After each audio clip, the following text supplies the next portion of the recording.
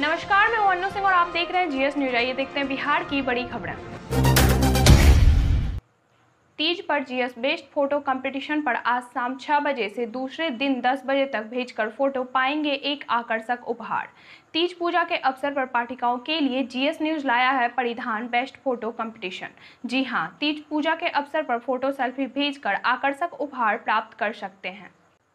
आपको बता दें कि प्रतियोगिता निशुल्क होगा और बिना किसी चार्ज के सिर्फ़ जीएस न्यूज़ की पाठिकाओं के लिए होगा। इसके लिए आप अपना एक फ़ोटो या सेल्फी जो अपने परिवार के साथ हो, नाम पते के साथ हमारे व्हाट्सएप नंबर पर भेजकर प्रतियोगिता में शामिल हो सकते हैं। हमारा व्हाट्सएप नंबर है eight four zero nine one eight one nine two zero photo भेजने का समय आज शुक्रवार को शाम के छह बजे से दूसरे दिन के सुबह दस बजे तक है और यह प्रतियोगिता में सिर्फ़ जीएस न्यूज़ के पाठिका ही शामिल हो सकती हैं। आज अखंड सुहाग का व्रत हरितालिका तीज है। हरितालिका तीज पर आज महिलाएँ अखंड सुहाग के लिए निर्जला व्रत रखेंगी। पारंपरिक रूप से व्रत पूजन को लेकर गुरुवार को घरों में तैयारियाँ की गई। महिलाओं ने साज श्रृंगार और पूजन सामग्री की खरीदारी की। पहली बार व्रत रखने वाली महिलाओं और कन्याओं में ज़्यादा उत्साह है। इस अवसर पर व्रती महिलाएँ भगवान शिव और पार्वती का विधि विधान से पूजन करेगी। जीएस न्यूज़ की टीम की ओर से आप सभी महिलाओं को तीज की बहुत बहुत बधाई। लालू प्रसाद की सुरक्षा में तैनात नौ पुलिसकर्मी निकले कोरोना संक्रमित। बिहार के पूर्व मुख्यमंत्री और आरजेडी सुप्रीमो लालू प्रसाद यादव के ऊपर एक बार फिर से कोरोना का खतरा मंडरा रहा है। लालू यादव की सुरक्षा में तैनात पुलिसकर्मी कोरोना पॉजिटिव पाए गए। इसके बाद हरकंप मचा हुआ है। लालू प्रसाद यादव की सुरक्षा में तैनात 30 पुलिसकर्मियों में से 9 की रिपोर्ट पॉजिटिव आई है। ऐसे में अब लालू प्रसाद यादव को भी संक्रमण का खतरा मंडरा रहा है। सुशांत सिंह राजपूत केस में पहले ही दिन एक्शन में दिखी सीबीआई। केंद्रीय जाँच ब्यूरो की टीम सुशांत सिंह राजपूत मौत के मामले से जुड़े एक व्यक्ति को पूछताछ के लिए गेस्ट हाउस लेकर पहुँची है, जहाँ वे रह रहे हैं। सूत्रों के मुताबिक गुरुवार को दिल्ली से आए सीबीआई अधिकारियों की बैठक। मुंबई के सांता क्रूज में एयरफोर्स ट्रांजिट फैसिलिटी में हो रही है। सीबीआई की टीम सुशांत सिंह राजपूत के बांद्रा स्थित आवास से मामले की जाँच शुरू करेगी, जहाँ वह 14 जून को मृत मिले थे। इस बीच सीबीआई अधिकारियों ने स्पष्ट किया है कि वह मौत के मामले में किसी भी संदिग्ध को तब तक गिरफ़्तार नहीं करेगी। भागलपुर में आरजेडी विधि प्रकोष्ठ की हुई बैठक चुनाव की तैयारियों पर चर्चा। बिहार में विधानसभा चुनाव होना है। वही चुनाव को लेकर तैयारी शुरू कर दी गई है। ज़िले के कोर्ट परिसर में आरजेडी विधि प्रकोष्ठ की बैठक हुई। बैठक के दौरान आगामी विधानसभा चुनाव में पार्टी को मज़बूत प्रदान करने के लिए विधि प्रकोष्ठ का विस्तार किया गया और सुप्रीम कोर्ट के वरिष्ठ अधिवक्ता प्रशांत भूषण पर सर्वोच्च न्यायालय की अवमानना का नोटिस जारी करने और दोषी करार किए जाने के विरोध में हस्ताक्षर अभियान चलाने का भी निर्णय लिया। कोरोना के नाम पर थमाया छह लाख का बिल डीएम ने इस निजी अस्पताल को कर दिया सील। एक तरफ़ कोरोना संकट में लोग परेशान हैं तो वहीं कुछ निजी अस्पताल इसे अवसर बनाने में लगे हुए हैं। ऐसा ही एक मामला सामने आया है कंकड़बाग के जीडीएम अस्पताल से, जहाँ अस्पताल प्रबंधन ने पहले तो वहाँ भर्ती कोरोना मरीज़ को दूसरे अस्पताल शिफ्ट कर दिया और बाद में परिजनों को इलाज के नाम पर छह लाख रुपए का कच्चा बिल थमा दिया। एसटीईटी छात्रों का जोरदार प्रदर्शन, सरकार के खिलाफ की नारेबाजी। बिहार में शिक्षा व्यवस्था का हाल बेहाल हो चुका है, जिसके विरोध में अभ्यर्थी सरकार के खिलाफ जमकर नारेबाजी करते नज़र आते हैं। ताज़ा मामला है कि एसटीईटी छात्रों ने एक बार फिर बीएसईबी गेट के पास प्रदर्शन किया। छात्रों की मांग है कि उनके रिज़ल्ट को जल्द से जल्द प्रकाशित किया जाए। सफ़ाई में पटना के सबसे फिसड्डी आने पर लालू और तेजस्वी ने नीतीश सरकार को घेरा पूछा, शर्म आ रही है। रैंकिंग में देश के सबसे गंदा शहर पटना के आने के बाद लालू प्रसाद और तेजस्वी यादव नीतीश सरकार को घेरा है।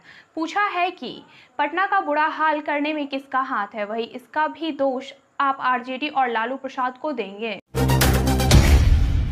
ससुर पर भड़के तेज प्रताप बोले, मेरे सामने चंद्रिका राय के खड़े होने की औकात नहीं। कहीं भी फाड़िया लेंगे। बिहार में विधानसभा चुनाव को लेकर राजनीतिक सरगर्मी तेज हो गई है। इस वक्त एक बड़ी खबर पटना से सामने आ रही है, जहाँ लालू प्रसाद यादव के बड़े बेटे तेज प्रताप यादव ने अपने ससुर चंद्रिका राय के ऊपर ज़बरदस्त हमला बोला है। गुरुवार को आरजेडी छोड़कर जेडीयू में शामिल हुए चंद्रिका राय के बारे में तेज प्रताप ने कहा कि उनके सामने चंद्रिका राय के खड़ा होने की औकात नहीं है। पत्नी ऐश्वर्या का वीडियो बनाकर रखे हैं तेज प्रताप, बोले, बहुत सारा वीडियो है, दिखा दूँगा। बिहार में इस साल विधानसभा चुनाव होने वाला है। चुनाव से ठीक पहले लालू परिवार का व्यक्तिगत मामला फिर से लाइमलाइट में आने लगा है। पार्टी से नाराज़ चल रहे तेज प्रताप के ससुर चंद्रिका राय ने गुरुवार को पार्टी छोड़ दी। उन्होंने जेडीयू का दामन थाम लिया।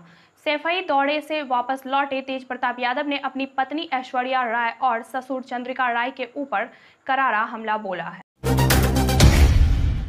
भागलपुर में खुलेंगे बुनकर मॉल और कोकुन बैंक। भागलपुर में लॉकडाउन के बीच आर्थिक तंगी से जूझ रहे बुनकरों के उत्थान के लिए शहर में कोकुन बैंक और बुनकर मॉल खोले जाएँगे, जिससे बुनकर धागे की खरीदारी व अपने उत्पादों को मॉल में बेच सकेंगे। इसके लिए ज़ीरो माइल स्थित स्पन सिल्क मिल व रेशम भवन को खोलने पर मंथन जारी है। रेशम उद्योग को बढ़ावा देने के लिए जिला उद्योग केंद्र ने डीएम को प्रस्ताव भेजा है। डीएम ने उद्योग विभाग को पत्र भेज दिया है। भागलपुर में टीएमवीयू में कॉपी बिक्री में कई फाइलें गायब और नियमितता से जुड़ी, तिलका माझी भागलपुर विश्वविद्यालय। टीएनवीयू में कॉपी बिक्री में हुई अनियमितता मामले की कई फाइलें विश्वविद्यालय से गायब होने की चर्चाएँ होने लगी है। इसको लेकर अब तक जाँच की रिपोर्ट तिथि बीत जाने के बाद भी गुरुवार को जमा नहीं हो सकी। जबकि प्रभारी कुलपति डॉक्टर अजय कुमार सिंह ने जाँच कमेटी से 20 अगस्त को जाँच रिपोर्ट सौंपने का निर्देश दिया। खबर में आगे बढ़े, उससे पहले आज का फास्ट जीएस रिप्लाई का सवाल आ रहा है तो तैयार हो जाइए कमेंट बॉक्स में अपना जवाब देने के लिए। तो सवाल ये रहा आपके मोबाइल स्क्रीन पर। विश्व पर्यावरण दिवस कब मनाया जाता है? आपके ऑप्शन है option A 25 March, option B 22 March, option C 7 June और ऑप्शन डी 5 जून।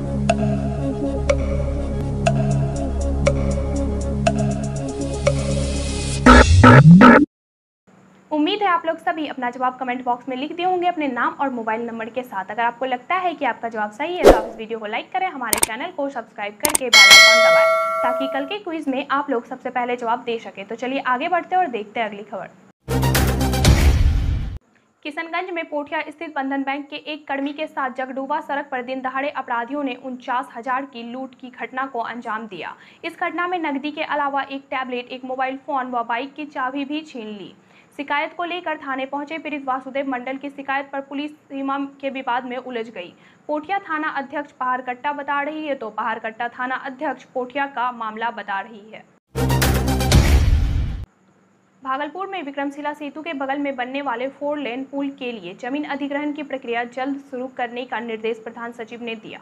वीडियो कॉन्फ्रेंसिंग के माध्यम से प्रधान सचिव ने रैयतों के भुगतान से संबंधित नोटिस जारी करने का निर्देश दिया। डीएम ने बताया कि रैयतों को मुआवजा के लिए नोटिस भेजने से संबंधित सारी प्रक्रिया पूरी कर ली गई है।